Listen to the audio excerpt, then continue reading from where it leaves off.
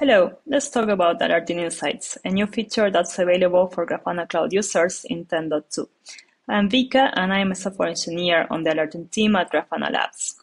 So in this last version, we revamped the alerting landing page to include a set of panels that will allow you to monitor your alerting data, discover key trends about your organization's alert management performance, and find patterns in why things might go wrong.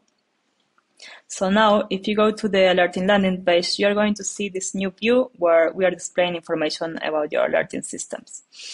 Uh, you can see data for Grafana managed rules, for example, which are the top firing instances, um, the current number for firing and post rules, a breakdown view of all the alert rule instances based on state, and also information about uh, rules evaluation. We also display data from Grafana Alert Manager, uh, like firing alerts by states and number of silences. Now for Mimir managed rules, we can also see the top firing rules as well as firing and pending instances data, um, plus rule evaluation information.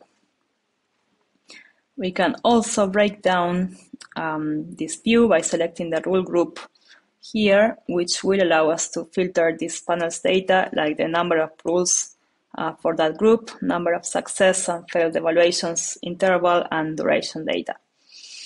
Um, and lastly, for Mimir Alert Manager, we are also displaying data about firing alerts by state, um, notification delivery, silences, and whether there is an invalid configuration.